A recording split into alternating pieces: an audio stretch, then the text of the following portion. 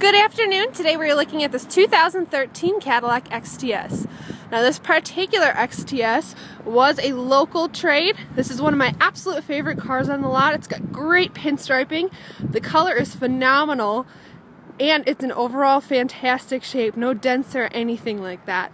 It also has been inspected by our factory certified technicians here. The Carfax is available upon your arrival. Now, this does come with a great sunroof. It's got some gorgeous wheels, and like I said, this is one of my absolute favorites because of its stripes and the beautiful condition that the cosmetics are in.